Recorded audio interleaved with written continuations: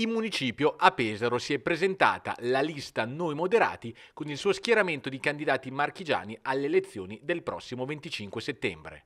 Candidati affiancati nell'occasione dall'onorevole Maurizio Lupi, presidente di Noi con l'Italia, che compone questa coalizione di centrodestra completata da UDC, Italia al centro di Toti e Coraggio Italia di Brugnaro. Anche nelle Marche, come in tutta Italia, la lista Noi Moderati nella coalizione di centrodestra vuole riportare eh, la caratteristica fondamentale che da sempre è quella proposta politica del centrodestra, serietà, competenza, concretezza, responsabilità.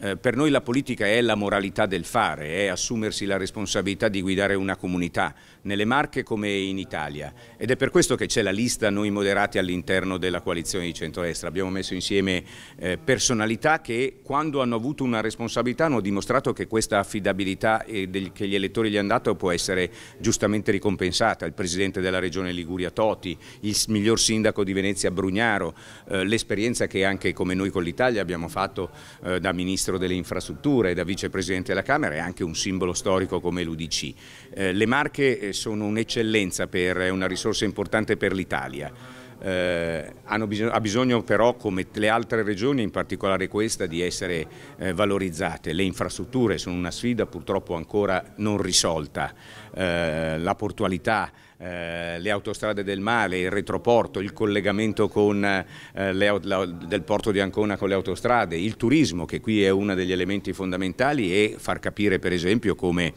eh, non c'è solo il problema delle imprese energivore sul caro energia, oggi più che mai per esempio le strutture alberghiere eh, rischiano di dover chiudere anticipatamente perché l'incidenza dei costi dell'energia è troppo alta, insomma tante sfide che vanno risolte con un'unica eh, risposta, la credibilità e l'affidabilità la delle persone che noi con i nostri candidati abbiamo voluto mettere in campo. La lista Noi Moderati è questa concretezza e credo che sia una bella opportunità per gli elettori del centrodestra che vogliono dare forza ai moderati. La pesarese Giulia Marchionni, consigliera comunale di centrodestra e presidente della Commissione Bilancio, è candidata nel plurinominale alla Camera come capolista per Noi Moderati.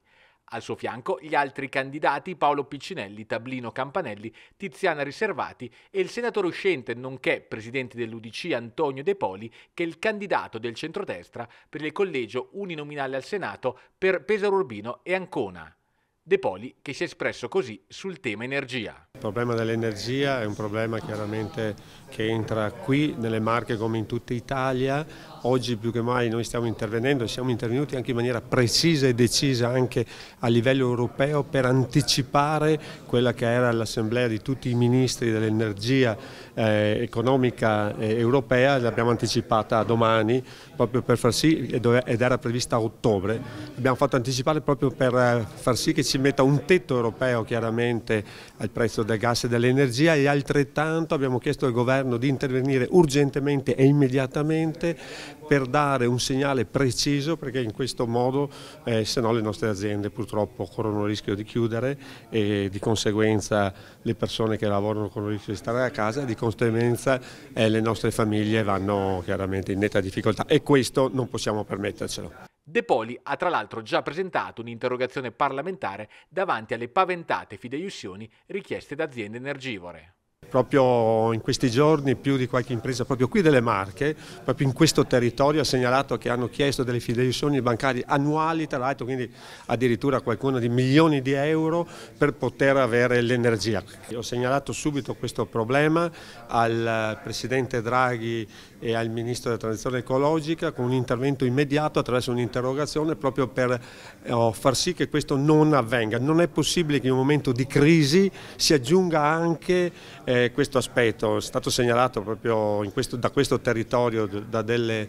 aziende che gli hanno richiesto anche qualche milione di euro di fideiussione bancaria che come voi sapete è costosa, quindi aumenta costo a costo, già siamo in difficoltà, chiediamo questo come dicevo prima, non è possibile e proprio per questo motivo ho chiesto un'interrogazione urgente con intervento immediato del Presidente Draghi. Io credo che oggi dobbiamo fare un piano strategico nazionale sull'energia. Eh, potremmo partire dai rigassificatori, eh, potremmo partire da un nucleare sicuro, ma sicuramente dobbiamo trovare una soluzione per rimanere ed essere indipendenti. Credo che questa sia una delle considerazioni più importanti e oltre all'energia aggiungo un altro problema, uno dei tanti purtroppo, che è quello della siccità. Eh, anche qui eh, abbiamo visto anche in questi giorni le, le, associazioni di categoria che hanno detto c'è un problema dell'acqua e questo è un altro dei grandi problemi che dovremo tenere conto nel prossimo futuro. Senza acqua non c'è vita, senza vita non c'è nessuno di noi.